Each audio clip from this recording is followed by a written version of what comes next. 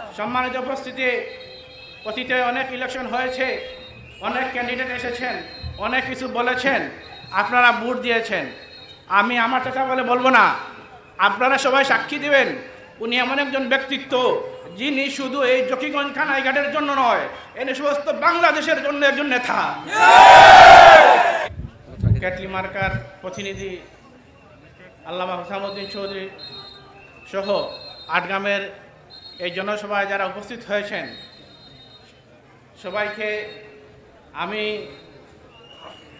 এতটুকু বলতে চাই যে আজকের এই উপস্থিতি আমাদেরকে আশ্বস্ত করতেছে, ইনশাআল্লাহ আমাদের বিজয় দ্বার প্রান্তে।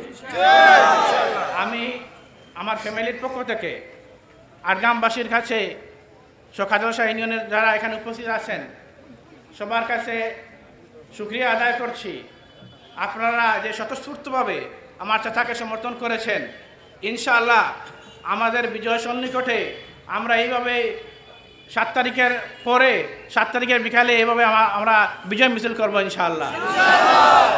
সম্মানিত উপস্থিতি, অতীতে অনেক ইলেকশন হয়েছে, অনেক ক্যান্ডিডেট এসেছেন, অনেক কিছু বলেছেন, আপনারা ভোট দিয়েছেন। আমি আমার কথা বলে বলব না, আপনারা সবাই সাক্ষী দিবেন উনি এমন একজন ব্যক্তিত্ব যিনি শুধু এই জকিগঞ্জ খানাইঘাটের জন্য নয়, এনে সমস্ত বাংলাদেশের জন্য একজন নেতা। এমন একজন ব্যক্তিকে যদি আমরা নির্বাচিত করতে দিতে পারি, তাহলে উনি শুধু জকিগঞ্জ খানাইঘাটের কথা বলবেন না, উনি বাংলাদেশে সমস্ত জনসাধারণের স্বার্থে কথা বলবেন আমরা আশা করি। সম্মানিত উপস্থিতি, আমরা অনেক প্রপাগান্ডা শুনতেছি আমরা শুনতেছি আমাদের মধ্যে বিভেদ সৃষ্টি করার চেষ্টা করা হচ্ছে। অনেক দুর্নীতিবাজ লোক, যারা দুর্নীতি করতে অভ্যস্ত, তারাও আজকে এই সাদা মনের মানুষের উপর কলঙ্ক সৃষ্টি করার চেষ্টা করছে। আমি বিশ্বাস করি সাত তারিখ আপনারা এর এর প্রতিবাদ করবেন ইনশাল্লাহ সম্মানিত উপস্থিতি, আমরা জানি অতীতে এই জকিগঞ্জে যারা চেষ্টা করেছে মানুষকে মামলা দিয়ে, হামলা দিয়ে মামলা মামলা, হামলা দিয়ে নষ্ট করতে, হয়রানি করতে, আজ তারা সাধু সেজেছে, জায়গায় জায়গায় বক্তব্য দিতেছে, তারা সাধু সেজে বক্তব্য দিতেছে, এরা সাধু না, এরা দেখতে পারবেন আগামীতে এরা কি করে ওরা নির্বাচিত হয়। সম্মানিত উপস্থিতি, আমি কিছু বললে মনে হবে আমি ফ্যামিলি থেকে বলছি। আমি শুধু এটুকু বলি আমার আমি আপনাদেরকে আশ্বস্ত করতে চাই। আমাদের এই প্রার্থী অতীতে গত পনেরো বছর ধরে ক্ষমতার পাশাপাশি ছিলেন। আপনারা সবাই সাক্ষী দেবেন উনার মাধ্যমে কোনো একটি মানুষের কোনো ক্ষতি হয়েছে কি এটা আপনারা বিশ্বাস করেন? ইনশাল্লাহ উনি যদি নির্বাচিত হন তবে কখনো উনার মাধ্যমে কোনো মানুষের ক্ষতি হবে না। মানুষ কেন একটা পশুরও ক্ষতি হবে না এটা আমি বিশ্বাস করি। আরে ভাই আমাদের কি কোনো প্রতীক আছে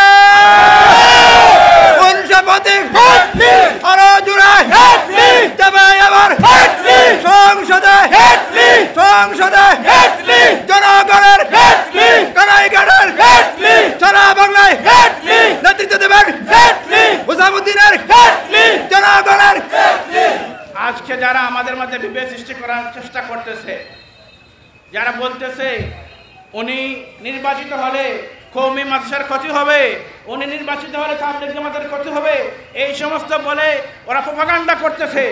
উনি চাইলে আগে ক্ষতি করতে পারবেন, কিন্তু আমি জানি, আমার চাচা হিসাবে বলতেছি না, উনি সবার সাথে সম্পর্ক রাখেন, সবাইকে ভালোবাসেন, এবং কৌমি অঙ্গনের যারা যখন কোনো সমস্যায় পড়েছে উনার কাছে এসেছে উনি কখনো কাউকে ফিরিয়ে দেন নাই। এজন্য এই সমস্ত প্রপাগান্ডা থেকে আপনারা দূরে থাকবেন এদেরকে এদের মুখের উপর জবাব দেবেন। আমরা ইনশাল্লাহ হুসামুদ্দিন সাহেবকে বিজয়ী করে এই জকিগঞ্জে কানাইঘাটে দেখিয়ে দিব ইনসাফ কাহাকে বলে। সম্মানিত উপস্থিতি আপনারা প্রপাগান্ডায় বিশ্বাস করবেন না। আপনারা জানেন অনেক লোক বলবে হুসামুদ্দিন সাহেব বসে গেছেন। আগামী যখন প্রচারণা শেষ হয়ে যাবে তারা বলবে যে উনি নির্বাচন করতেছেন না। আপনাদের কাছে আসবে বলবে এগুলায় বিশ্বাস করবেন না। যদি উনার আমি এটাকে বলতে যে কোনো সমস্যা আসুক যত ধরনের বাধা আসুক জীবন যতক্ষণ আছে উনি আসেন থাকবেন ইনশাল্লাহ আমি আমার একটি কথা বলে শেষ করব। এই আটগাম বা এই এরিয়া যেটা আছে হদি সাহেবের ইলেকশনের সময় নাইনটি সিক্সের ইলেকশনের সময় আমরা জানি আমরা যখন কর্মী ছিলাম আমরা সর্বোচ্চ ভোট পেয়েছিলাম এই আটগাম থেকে।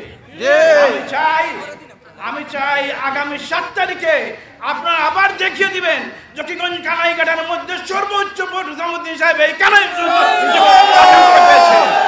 আপনারা কি আমাকে এই আশ্বস্ত করেন? যদি আশ্বস্ত করেন সবাই হাত আরে ভাই আমাদের কোনো প্রতীক আছে এই কোন সে প্রতীক গ্রাম বলো এই আটগামের মাঠে এই আটগামের মাঠে হজরত সাহেব কিবলার গাঠি হিসাবে আমরা জানি এখন এই আটগামের মাঠে হজরত হুসামুদ্দিন সাহেবের গাঠে ইনশাল্লাহ। দেখা হবে আবার বিজয়ের মিছিলে ইনশাআল্লাহ